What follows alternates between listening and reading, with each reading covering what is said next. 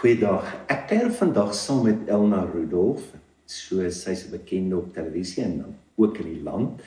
En Elna, welkom in Stellenbosch. Dit is lekker hier in Stellenbosch saam met jou. Dankie Theo, dit is so lekker om hier te wees. Elna, in die Bybel is daar nou hierdie band tussen seksualiteit en spiritualiteit. Maar tog lyk dit vir my of die kerk verskriklik sukkel daarmee want daar's kort kort een van 'n groot skande van 'n prediker. Wat dink jy is die probleem daar? Ek dink dit is die vyand se strategie om seker te maak dat ons nie oor die goed praat nie. Want as ons nie daaroor praat nie, bly dit in die donker en dinge wat in die donker is, is in sy riem. Dit is nodig om die goed te bepraat. Mens loop nie elke dag heeldag en praat sommer oor seks onder enige omstandighede nie, maar daar is nie geen plek en tyd om daaroor te praat nie. En in die kerk moet ons praat en praat en praat en praat en nie afpraat op mense en net vir hulle sê dit is wat jy moet en nie moet doen nie, want dit werk nie. Mense het ongelooflike uitdagings rondom seksualiteit binne in die huwelik. Hoe moet hulle met hulle kinders praat? Wat hulle tieners aanvang? Jy weet mense se drange en behoeftes en daar's nie eenvoudige antwoorde vir die goed nie. Ek het nou met dit betrokke op 'n baie globale politieke vlak ook by die Wêreldorganisasie vir Seksuele Gesondheid en hoe meer ek daarbey betrokke is, hoe meer kom ek agter dat dit is regtig kompleks. Die antwoord is nie noodwendig eenvoudig nie, maar die waarheid bly daar en ek glo God se waarheid vir seks is eintlik universeel toepaslik, maar ons gaan dit moet bepraat. En dan wat met 'n pa vir ma nou vir hulle kind sê want ons vra gewoonlik vir 12, 13 jaar, "Waar het jy nou gehoor van seks?" En dan ons lag verskriklik. Jy weet want dit kom nooit van die pa nie, ma sê seker mm. maar as ek nou dink aan myself, soos ek word ongemaklik, weet mm. nie hoekom nie. Ja. Maar wat so wat wat met 'n pa en 'n ma nou doen en jy het nou hierdie tiener wat in 'n hormoonontploffing beland. Ja. Die ding is dat 12 of 13 is heeltemal te laat. In Engels sê hulle 80s too late. So jy moet met 'n kind praat oor seksualiteit reg van die begin af, van geboorte af en dit is net iets wat uh, jy sal dan ook as jy dit van die begin af doen teen 12 of 13 baie gemakliker daarmee wees en jou kind is gemakliker want as jy op daardie ouderdom eers die onderwerp ophaal, dan sien jou kind hoe ongemaklik jy is en dan besef hulle hulle kan nie met jou daaroor praat nie want hulle hou nie daarvan om jou ongemaklik te maak nie. So 'n mens praat natuurlik nie oor tegniese detail, man ek het 'n paar grade en ek het nie eens al die tegniese detail in my grade geleer nie, jy weet. So dit is nie iets wat 'n mens met uh met 'n kind bespreek nie, maar jy praat oor dinge soos toestemming en soos jy weet daar's niks fout met jou lyfie nie maar ons is nie kaal vir ander mense nie want ander mense het die reg om nie aan genitalie bloot gestel te word nie byvoorbeeld jy weet. So dit is dit is die punt dit is die waarheid. Nie daar's iets fout met jou genitalie en daarom moet jy dit toemaak nie. So hoe meer ons 'n ding bedink oor hoekom dit werklik so is dat iets nie sis of so mag gebeur nie jy weet. Ons Almal glo nie buitehuwelikse seks is sonde nie byvoorbeeld, maar vir kinders om seksueel aktief te raak het geweldige eh, dit dit berokken skade. Dit maak dat hulle kans om 'n graad te kry laer is wat hulle in 'n laer sosio-ekonomiese plek plaas wat hulle kinders weer onder risiko plaas en jy weet dit het sulke tipe verrykende gevolge. So 'n mens moet seker maak wat is die rede dat jy byvoorbeeld 'n kind op 16 wil beskerm teen seksuele aktiwiteit. D dit gaan oor ons geloofs oortuiging natuurlik, maar dit gaan ook oor baie meer as dit. En as ouers so eenvoudig wil wees om net geloofs-oortuiging te gebruik as ja nee vir die dinge en hulle dit wil in teenstand bring dan met daai kind se hormone wat wild is en uitstekend werk. Dit werk baie goed op daai ouderdom. Dan maak die kind baie keer nie die regte besluit nie want jy het hulle nie toegerus met kennis en eintlik dit dit is nie net kennis nie. Jy moet 'n kind leer as jy sien hom nou in 'n situasie is om wat jy nou voel o hierdie gaan nou bietjie te ver gaan. Ek wil nie ek wil net dit moet aangaan nie. Jy moet daai ding bepraat. Hoe hoe gaan jy daar uitkom? Jy weet en dit is 'n eenvoudige raad soos om te sê ek wil gou draai gaan loop. Hmm. Eenvoudig dit hoef jy nie te laat bloos om te sê ek wil gou 'n draai gaan loop nie jy hoef nie eers die name reg te noem om dit te sê nie maar jy moet die kind toerus met die vermoë om te kan ja of nee sê of wat ook. Jy weet so, dis eintlik baie eenvoudig aan die een kant, maar aan die ander kant is dit nie so eenvoudig soos wat ons dit wil maak nie. Dit is beslis nie 'n 5 minute gesprek wat nooit weer herhaal word nie. Dit is iets wat oor die kind se leeftyd gebeur. En as die kind 40 is en jy kan met wysheid in hulle lewe inspreek, nog soveel te beter. So dit is 'n lewenslange proses. Elna baie dankie. Dit is lekker met jou te sels. Jy, ek moet sê jy het nog 'n gift om mense op te saai. Kan jy inspireer? Goed en so bly jy's in hierdie veld en lewer ook 'n bydrae. Baie dankie. Mag die Kaap ook dan sy gawe vir julle gee hierso. Baie dankie, ek waardeer. Dankie vir die saamwees. Groot plesier. Let's read together from 1 Corinthians 6 and 7. From the message Those who use and abuse each other, use and abuse sex, use and abuse the earth and everything in it, don't qualify as citizens in God's kingdom. A number of you know from experience what I'm talking about. For not so long ago, you were on that list. Since then, you've been cleaned up given a fresh start by Jesus, our Master, our Messiah, and by our God present in us, the Spirit. There's more to sex than mere skin on skin. Sex is as much spiritual mystery as physical fact. As written in Scripture, the two became one. Since we want to become spiritually one with the Master, we must not pursue the kind of sex that avoids commitment and intimacy leaving us more lonely than ever.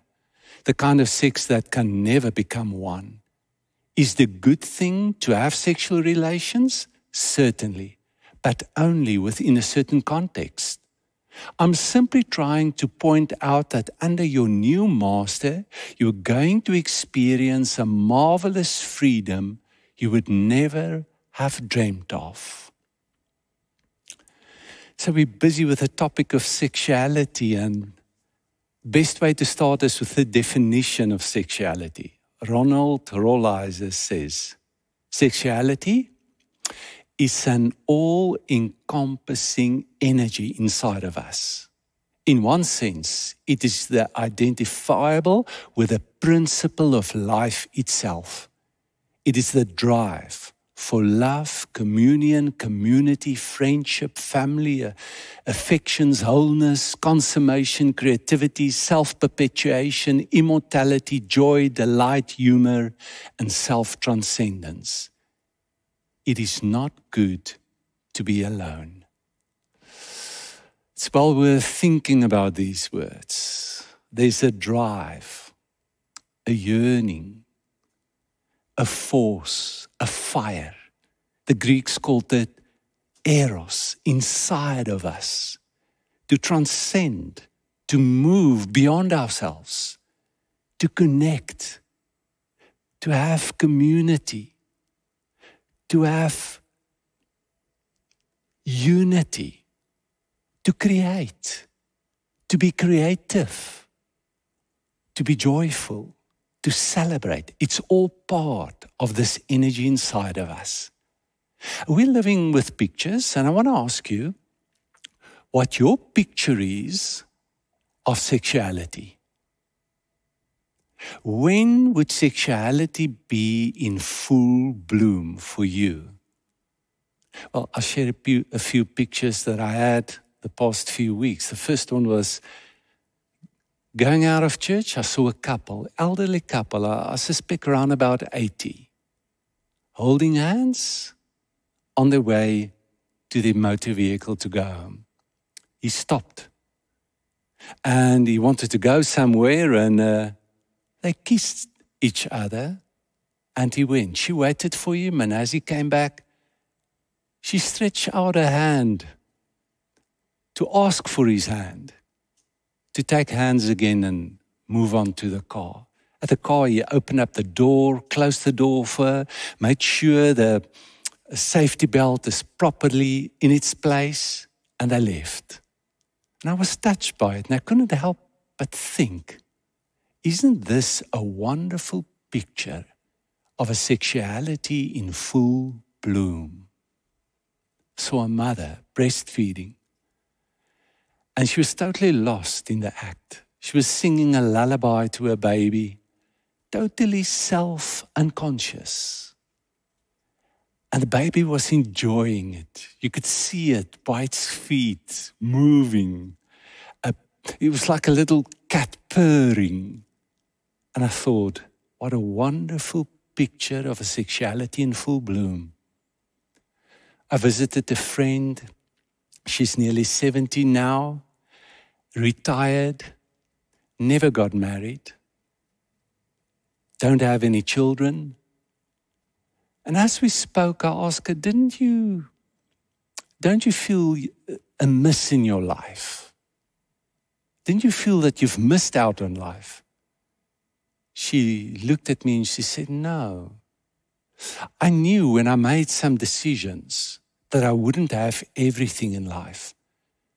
And I think in this life, you can't have anything, everything in depth. And I'm okay with it. I'm not focusing on what I couldn't have or didn't have or achieve in life. I'm satisfied and I'm so deeply grateful and thankful for my life.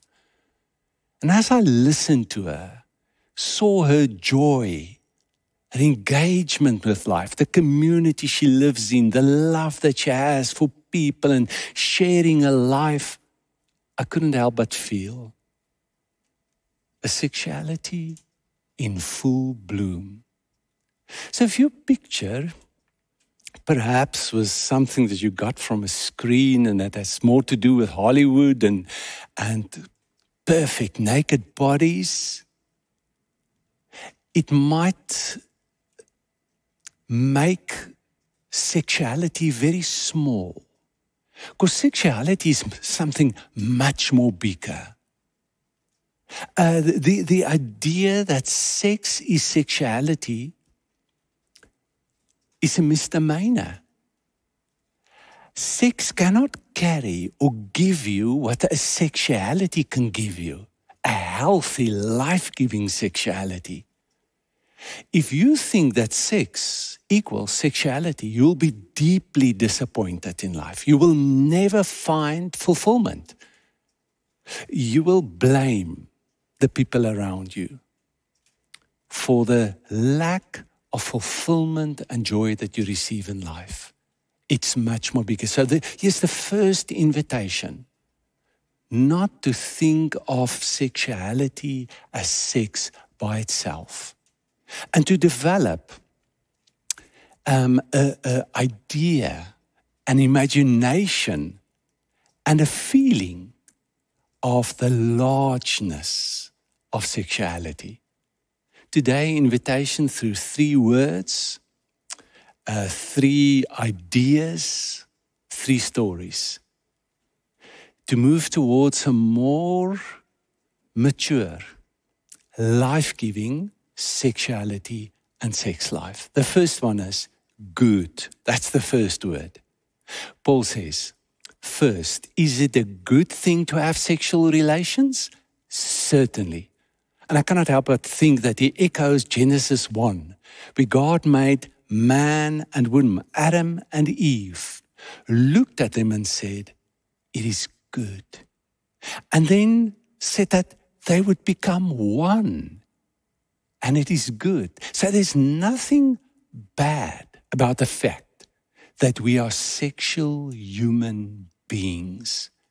In fact, so much of our joy, so much of, I mean, most of the ecstasies experienced every day is through a sexual encounter and through the fact that we are sexual beings.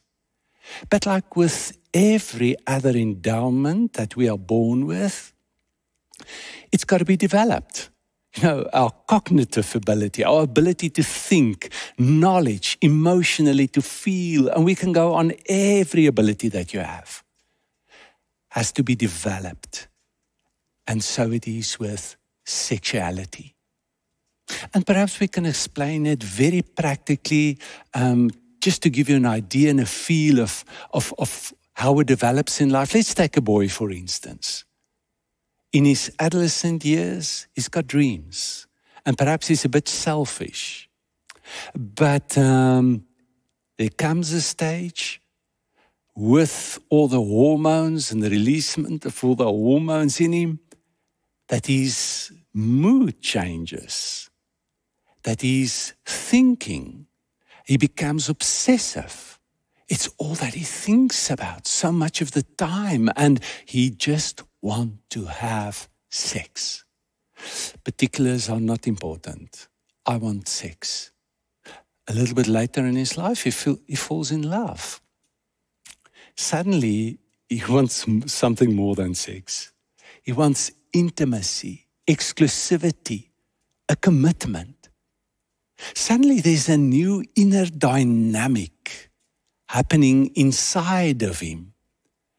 And his idea of sex is developing. And he moves into a more mature sexuality. Later in life, he got married. And um, it's good for a while, but then he wants children. And again, something happens to him. He gets a lot of no's. Not now. And he, at, at that stage, I personally think it's, it's, it's the stage in life where mutuality uh, uh, becomes a, a, a very important, engraved experience. And the realization that my sex drive is a desire, it is not a need. It is not something like food that I cannot go without. And without resentment, he can put aside his desires and his longings for something bigger. And the process that doesn't stop there. He becomes a grand grandfather, and um, it keeps on developing and growing through life. So that's an invitation to, to, to say yes through the different developmental stages of your sex and your sexuality. The second big word is chaste. Now, um, Paul says it's a good thing to have sexual relations, but only within a certain context. He's referring to chastity there, although the word is not used. He used it explicitly when he wrote to Titus and said, Be chaste. I spoke to a few friends about this word, and I didn't get a lot of positive reaction using this word. It's not a word commonly used in our vocabulary today. And most of them made connections with prudeness, with celibacy, and made jokes about it. But the word chaste actually means that you are respectful, you have reverence, and you act in patience towards an experience involving people, things, places, and time. Um, in, in, in the case of sex, for instance, a time, uh, maturity, the certain stage in your life when you, you've developed emotionally, socially, to the extent that you are ready for such an encounter. If you are chaste, the experience will be experienced as integrative. You'll be thankful. There'll be a lot of joy. If you're not chaste, there'll be irreverence, impatience, disintegration, uh, cynicism, and it would be a violation of somebody or something. That's why the philosopher Camus said chastity alone is connected to personal progress. A story. I was a student minister and once spoke to a young student, a girl, was suffering from anxiety attacks and depression and um, inner chaos happening in her life. She was in a relationship with a few men, few other students. And um, she was sexually involved with them. It became very complicated for her. You know, and you could see the turmoil. She didn't experience community. She was all by herself. She was bitter, full of cynicism. And in our discussion, I was amazed that she couldn't make a connection with the way that she lived and the inner experience she was sitting with. In fact, um, she felt that her problem was a physical problem and she needed medication, something else to help her with her mood. That would be the solution. Speaking about her way of life, she felt that what she's doing is actually a moral victory, getting rid of chastity. Because that is something that the church and her mother and father sold to her. They indoctrinated her. But they are naive. They don't know what the real life is about.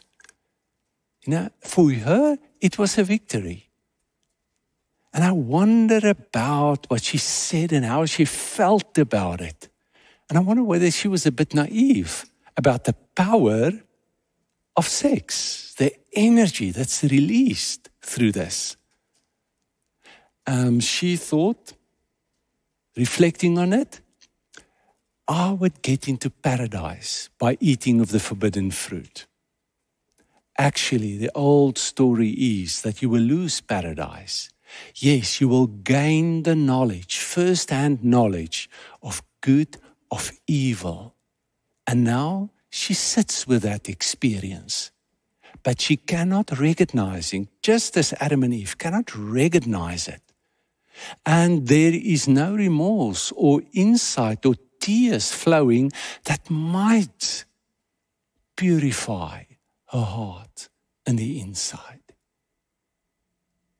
It's a big word, chastity, and it's a challenge for us. The third word is complex. Sex is as much spiritual mystery as physical act. So these two words, spiritual and physical. It is both. It's not either or. And um, uh, somebody once said that um, the world ended up with passion and the church ended up with chastity, and both of them are losing. You know, we cannot divide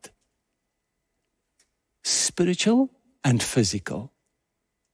And we cannot think and say that, for instance, it's just a physical act. It's just a normal urge, need that God has created us with. And it is, um, it's neutral. And it is, uh, it, it, it, it won't bring any harm. It's not the truth. Why are there laws about sex? With whom you have sex, where you have sex, when you have sex. Why?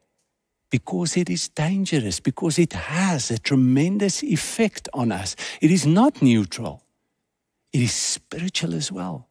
So here's an invitation from Paulus to bring your sexuality and your spirituality together.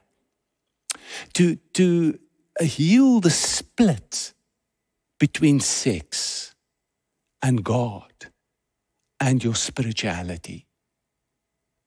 And to do that is not easy. It's a struggle. And some of us has a huge struggle with it. Let me explain it with a story once again. A little baby was born with male and female organs. After tests and deliberation with the parents, they decided that she would become a little daughter, a little girl. She grew up, and later in her teenage years, she visited the doctor and he did some tests on her. And what he discovered is that she don't have any female inner organs. Um, and he did a test on chromosomes and found out that she had manly chromosomes, XY. it turned her whole life upside down. She was a follower of Christ, and her first cry was, Why did you do this to me, God? Why should I live with this burden?